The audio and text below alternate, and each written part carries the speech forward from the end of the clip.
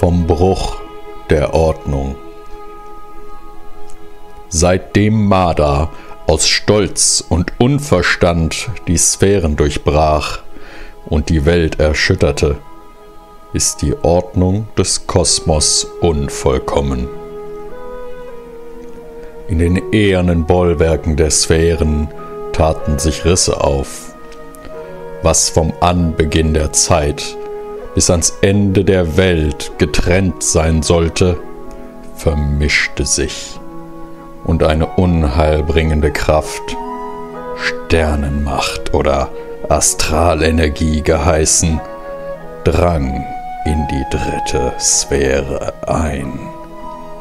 Nicht genug, dass dieser Frevel die Harmonie der Schöpfung störte. Die Astralkraft befleckte auch die Seelen mancher Sterblicher, verband sich mit ihnen und belegte sie mit einem Fluch, den nur der durch Stolz und Unverstand verblendete eine Gabe nennen mag. Marder vermeinte, den Sterblichen die Möglichkeit zu geben, ihr Schicksal selbst zu lenken. Doch was sie über die Welt brachte, war ein Weg, sich gegen die Weltordnung aufzulehnen. Eine Waffe, die bereits rissige Ordnung weiter zu schwächen. Eine falsche Hoffnung für verderbte Seelen, sich selbst den Göttern gleich zu machen. Verflucht sei die Frevlerin und ihre schändliche Tat, für die die Götter sie auf alle Zeit in einen Kerker am Himmel banden, von dem aus sie auf die Welt herabblickt, um die Folgen ihrer Torheit zu beklagen. Was aber nun durch Frevel in die Welt kam, daraus kann nichts Gutes erwachsen. Wieder und wieder haben verderbte Zauberwirker unsägliches Leid über die Welt gebracht. Zweimal entfesselten Herrscher die Macht der Erzdämonen, um sie gegen ihre Feinde zu richten. Und jedes Mal war die Folge Verwüstung, Finsternis und Tod. Ein drittes Mal tat der zwölffach verfluchte Betania es ihnen gleich. Und noch heute schreit das Land und weint der Himmel, wo sein verdorbener Schatten die Welt berührte.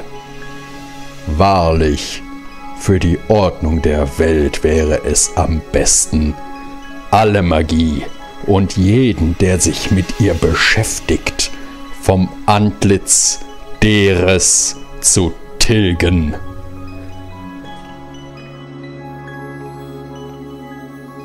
Einen ganzen Tag lang seid ihr gereist. Von Jilas Khan auf der anderen Seite, Praiosdank, in Richtung Norden gereist. An Etlas Khan vorbei. Die Küsten abgesucht. Yandras Khan. Einmal die Inseln umkreist und auf der anderen Seite wieder zurück nach Süden. Doch die beiden Inseln sind leer und verlassen. Keine weiteren Schiffe oder Boote, die sich dort ankündigen. Wo auch immer die Prajoten hingefahren sind mit ihrem kleinen Ruderboot. Es wäre mühselig, die Inseln abzusuchen. Wisst ihr doch nicht, wo ihr hin müsst. So, nach einem Tag der Reise bleibt euch nur noch Chilaskan und eine Recherche mit der örtlichen Prajokratie. Vor euch könnt ihr das erste Patrouillenschiff erkennen. Und den kleinen, nicht ausgebauten Hafen von Praiosdank. Was wollt ihr tun? Ein enttäuschendes Ergebnis. Ja, das war eher nicht so erfolgreich. Zumindest können wir jetzt das Wissen vermerken, dass sich auch hinter Atlas Khan nicht Belarian Mannings Flotte verbirgt, wo auch immer er sein mag. Ich würde gerne in Betracht ziehen. Was habt ihr denn gesucht? Für mein Protokoll? Nun, Belharion Manning. Offensichtlich. Geht immer so vor? Ja. Äh, oh, wer ist denn der Mann? Fürs Protokoll geht ihr immer so vor? Er ist ein Sekretarius, den man uns zur Seite gestellt hat, um uns auf der Insel Gilaskan zu orientieren. Äh, Nun, Gut. Sekretarius, wir gehen natürlich entsprechend der Situation vor. Und in der jetzigen Situation scheint es geboten, unsere Zeit bestmöglich zu verbringen, indem wir, wie ursprünglich vorgesehen, die heiligen Stätten aufsuchen. Nun, dann weiß ich nicht, warum ihr euch von Praios Dank entfernt habt. Nun, weil wir in Sorge waren, dass Balharion Manning sich in der Umgebung aufhalten könnte. Aber da wir ihn nicht gefunden haben, werden wir wohl sehen, ob er zu uns kommen wird. Denn Praios Dank ist das offensichtliche Ziel für ihn. Denkt ihr nicht? Offensichtlich, in Atlas Khan und Janras Khan befindet sich doch nichts von Interesse. Das macht es zu einem umso besseren Ort, um sich zu verbergen. Wir werden eine Mannschaft an Land setzen. Ich schlage vor, ihr werdet mit ihr gehen. Nun, ich soll euch begleiten. Ihr seid die führenden Offiziere, ich soll protokollieren, was ihr zu tun habt. Aber wir können gerne weitere Sekretäre anwerben. Daran soll es nicht mangeln. Oh, ihr wollt äh, protokollieren, was wir tun. Das ist äh, hervorragend. Rafim und ich wollten später nach unten gehen, zu unseren Trollzackern. Ihr müsst wissen, ich bin der Schochsul. Und ähm, dort werden wir ein wichtiges Ritual durchführen. Ja, ja, das wird ganz fantastisch. Ich sage es euch. Rafim wollte heute Kampfgeist einschwören. Nicht wahr, Rafim? Nun, Äh, euer schändliches natürlich, Treiben natürlich. ist sowieso vermerkt. Sehr schön, sehr schön. Dann kommt ihr mit. Da freue ich mich aber. Ha. Abelmir, Ja, was gibt es? Kanazetiana hat den Wunsch, sich in der Bücherei umzusehen. Ich schlage vor, du begleitest ihn und gehst ihm zur Hand. Und ich habe ein Auge auf ihn. Auch.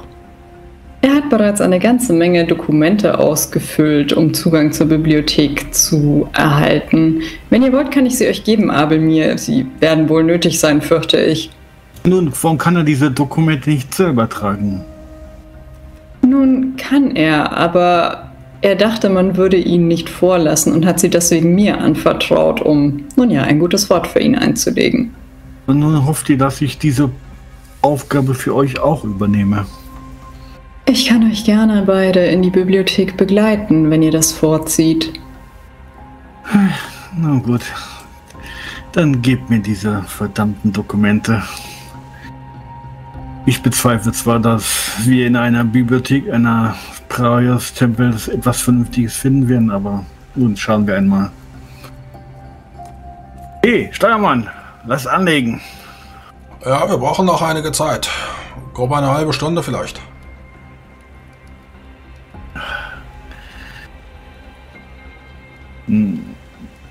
Sekretarius, wollt ihr euch nicht unter Deck begeben und äh, Rafim und Boltax begleiten? Nun, wenn ihr Praios Dank besucht, werde ich euch begleiten. Immerhin bin ich dafür da, um eure Schritte dort zu begutachten. Dann seid ihr in einer halben Stunde an Deck. Werde ich sein. Kapitän, ich habe mich mit Haswolf unterhalten und den Geschützmannschaften. Die sind bereit, sollten wir nicht auf dem Schiff sein und sie Mannings Flotte sichten, auch dieses Schiff nach ihrem besten Willen und Gewissen zu verteidigen. Na gut, stellt sicher, dass dieses Schiff überlebt. Es ist unsere einzige Möglichkeit, von dieser Insel wegzukommen. Zur Not sollen sie erst einmal einen Fluchtkurs setzen, falls die Flotte überlegen ist des Feindes. Erweist sich die Position als unhaltbar, sollen sie mit der Flottille des Sonnenmarschalls aufschließen. Wir werden über Land einen Weg suchen. Ich werde das an Haswolf weiterleiten. Er ist ein fähiger Seemann. Solange er auf diesem Schiff ist, haben wir wahrscheinlich nichts zu befürchten. Und gut. Holt da am besten einmal diesen Kanitizianer her. Ja, ich, Kapitän? Ich werde das übernehmen. Ich werde ihm gerne die frohe Botschaft überbringen, dass er nun doch noch die Gelegenheit haben wird, die Bibliothek zu besuchen. Und äh, Flamin geht dann runter zu Kanizetiana. Ja, wenn du anklopfst und hereintrittst, kannst du sehen, dass er wohl vor einem großen Kessel steht. Und ähm, auf dem Tisch neben ihm liegen allerlei ähm, Säckchen mit viel Geld darin. Es brodelt und blubbert. Ah, Zulamin, äh, schön, dass ihr hier seid. Äh, sagt, äh, habt ihr noch ein, ein paar Kupfermünzen bei euch? Ich würde sie gerne tauschen gegen, gegen Silber oder gegen äh, Gold. Alles, was Kupfer ist. Äh, Kupfermünzen? Was tut ihr denn hier? Ich möchte einen neuen Spiegel gießen. Einen Spiegel? Und dafür Ja. braucht ihr Kupfer? Zumindest für den Rahmen, ja, ja. Nun, ihr wisst, dass man eigentlich geprägte Münzen nicht einschmelzen sollte, ja? Äh, ja, das ist äh, selbstverständlich. Äh, nun, wir, wir liegen unter Seerecht. Äh, ich bin mir nicht ganz sicher, wie, äh, wie man da verurteilt wird, aber, aber nun, ich kam nicht an das nun- Kupfer heran und äh, mir ist natürlich auch bewusst, äh, dass es sich dabei nur um verschiedene Legierungen und, und ähm, Gemische handelt, aber die kann man ja herausbekommen. Äh, bekommen. Oh, oh, bitte macht euch deswegen keine Gedanken. Ich. Ich denke nicht, dass es jemanden interessieren wird. Oder. Es war einfach nur ein Projekt, äh, was ich gerade angefangen habe. Also, wenn ihr noch äh, Kupfermünzen bei euch habt, dann. Ich hatte bei der Mannschaft schon angefangen zu sammeln. Sie hat mir ihre Heuer gegeben und ich hatte dann gegen Silber und Gold getauscht. Wofür braucht ihr einen Spiegel? Äh, einfach ein neues Projekt, was ich angefangen habe. Ich habe Großes vor. Na, ihr spracht ja mit Jalan über irgendeine Lichtgeschichte, nicht wahr? Äh, korrekt, korrekt. Nun, jedenfalls, wir werden in einer halben Stunde wieder in Preuersdank anlegen und nun, hoffentlich werdet ihr doch noch Gelegenheit bekommen, die Bibliothek zu besuchen. Oh, ja, ja, ich hatte ja schon bereits die ganzen Dokumente ausgefüllt. Äh, die liegen hier schon bereit. Äh, wie lange haben wir noch? Eine halbe Stunde? Eine halbe Stunde. Macht euch bereit.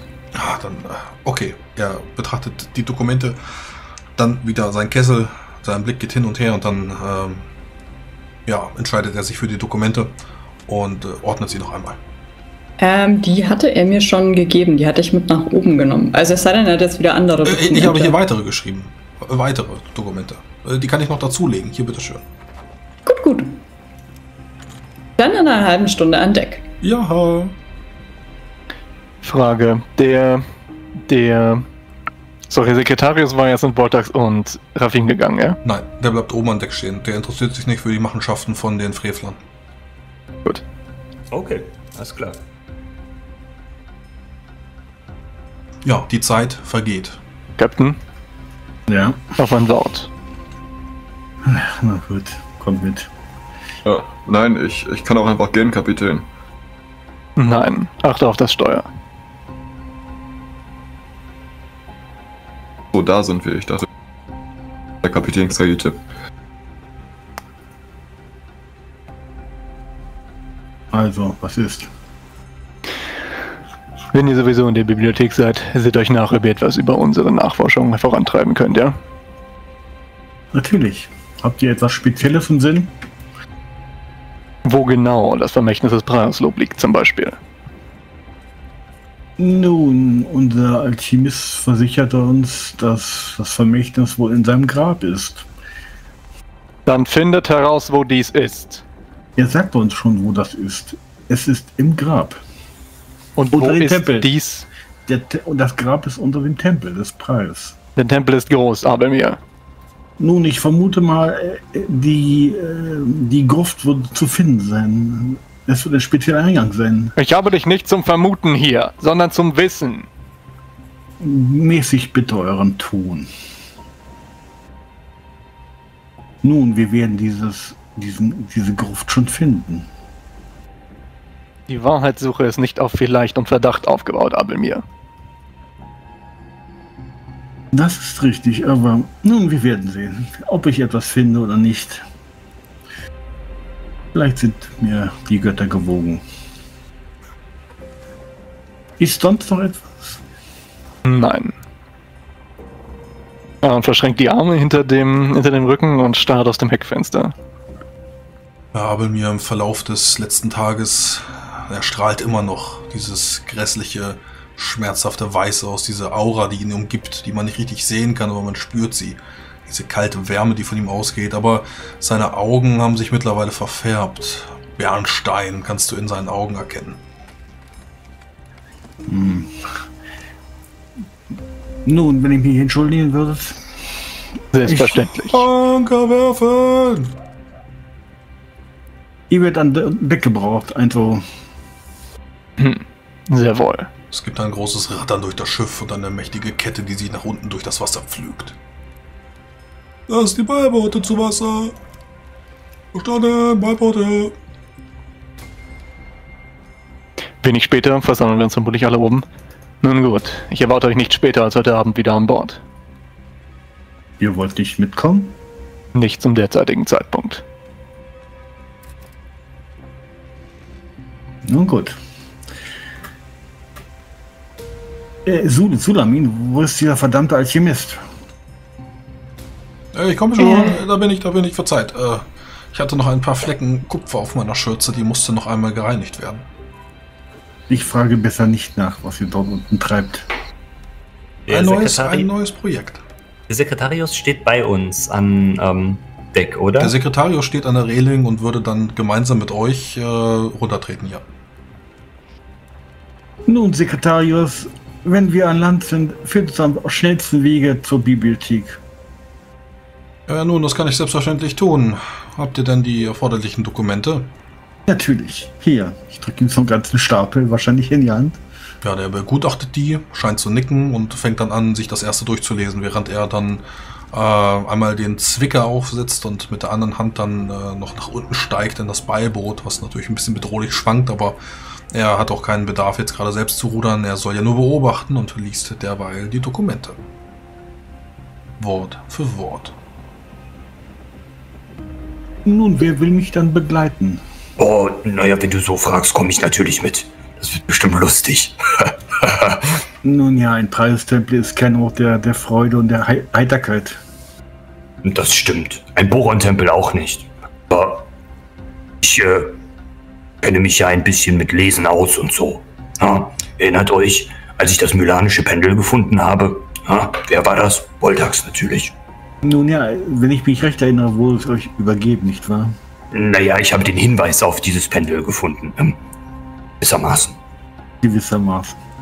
Nun, Ich erwarte mir hinterher keine Vorwürfe für dich anhören zu müssen. Ach, als ob. Ich begleite euch ebenfalls gerne. Und äh, Zulamin setzt den schwarzen Kater, den sie auf dem Arm hatte, an Deck ab. äh, hat jemand Rafim gesehen? Na, eben war er noch unten. Ja, ja, ja, da bin ich ja schon und äh, ich bin auch nicht zu spät, ihr seid alle zu früh. so kann man natürlich auch betrachten, Rafim. Äh, ja, ich bin mir ganz sicher. Äh, was machen wir? Ich brauche euch und Diamantes hier. Ja gut. Geh gerne in die Bibliothek. Ich weiß nicht, vielleicht hast du mehr Spaß mit Jalan? Ich bin nicht sicher. Ach ja. Ich werfe die äh, Raf Rafim einen sorgenvollen Blick zu. Beuge mich dann noch einmal zum Kapitän, ein wenig rüber mit halblatter Stimme. Ist das irgendeine Art Finte, von der ich nicht mitbekommen habe? Wollt ihr den Sekretarius nur loswerden? Äh, nein, es ist wohl keine Finte. Jalan will wohl an Bord bleiben. Ach, ihr, ihr wollt den Sekretarius loswerden, flüstere ich ähm, den beiden zu. Ich könnte das bewerkstelligen. Ich könnte ihn einschlafen lassen. Nun, vielleicht reicht es, wenn er uns nur begleitet. Na gut, äh, ihr seid der Kapitän, nicht wahr? In der Tat, in der Tat. Das wird oft vergessen hier an Bord. Äh, ja, Wisst ihr, Abelmir, das liegt nicht an eurer mangelnden Autorität oder so, aber für mich seid ihr einfach in erster Linie der Schwarzmagier und ja, kein profaner Seemann und sei es, sei es ein Kapitän. Nun, ich weiß nicht, ob das ein Kompliment ist oder eine Beleidigung, aber ich nehme es als Kompliment hin.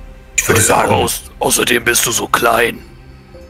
Nun ja, Man die, sieht dich ja gar nicht richtig. die Statur hat wohl nichts mit einer Autorität zu tun. Ja, das sind die Trollzacker aber anders. Nun ja, was ihnen an äh, nun ja, Ausstrahlung fehlt, machen sie durch Körperlichkeit wett. oh, sie haben ganz viel Ausstrahlung. Ausdünstung. Ähm, Der Hut steht euch übrigens auch nicht besonders, wenn ich das mal anmerken darf. Nun, sind wir hier, über um äh, modische Details zu sprechen oder überzusetzen? Habt ihr schon mal über ein Monokel nachgedacht, Abelmir? Ich glaube, das würde euch fantastisch stehen. Mein Augenlicht ist noch hervorragend. Ja, aber das, äh, ein, ein Accessoire. Aha. Und ein gezwirbelter, gekräuselter Bart. Hm, ihr solltet viel mehr auf euren Bart achten. Nun, ich ziehe mich so an, wie es einem Horasier gebührt.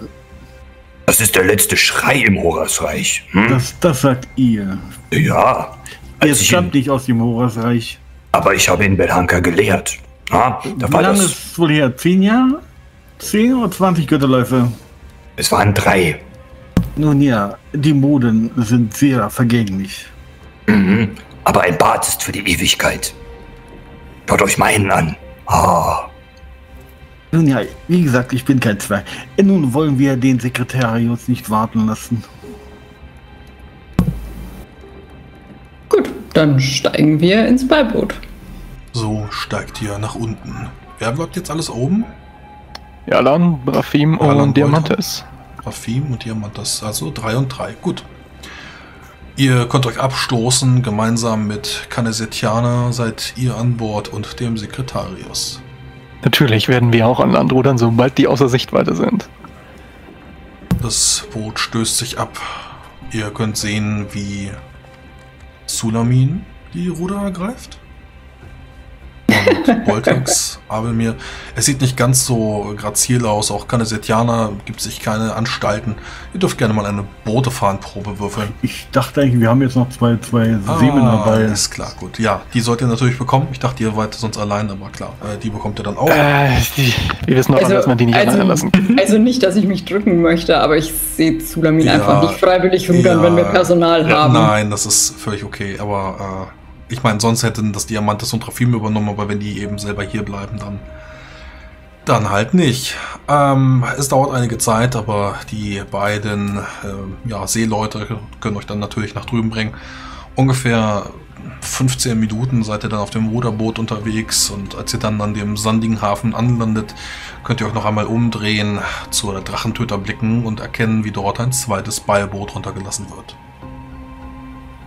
Ich lenke den Sekretarius ab. Passt bitte auf mit den Dokumenten. Es muss Kanizetianer Stunden gekostet haben, sie auszufüllen. Äh, nun, ihr solltet keine Angst haben. Ich weiß schon, wie man mit Papieren umgeht. Ich bin Sekretarius. Oh, aber ist das nicht Nun Pergament? natürlich, aber ihr seid nicht so oft auf Schiffen, nicht wahr? Äh, nein, das mag zwar richtig sein, aber Gilas Khan und vor allem Praios Dank Insel und Hafen. Da kommt man äh, schon in Berührung mit dem Wasser und mit dem Sande. Also den Sonnenhügel nach oben, dort. Nun gut, geht voran. Ihr kennt den Weg am besten. Nein, ich bin der Sekretarius, ich werde euch begleiten und nicht anführen. Nun gut, dann gehe ich voran. Ich bin schon sehr gespannt auf die heiligen Schriften, die wir dort zu Gesicht bekommen werden. Gewiss haben sie eine große Sammlung an heiligen Legenden. Oh, habt ihr einige schöne Steintafeln? Äh, nun, wir haben eine ganze Menge. Schriften, Oh. Steintafeln, äh, sogar einige äh, Sachen aus Leder.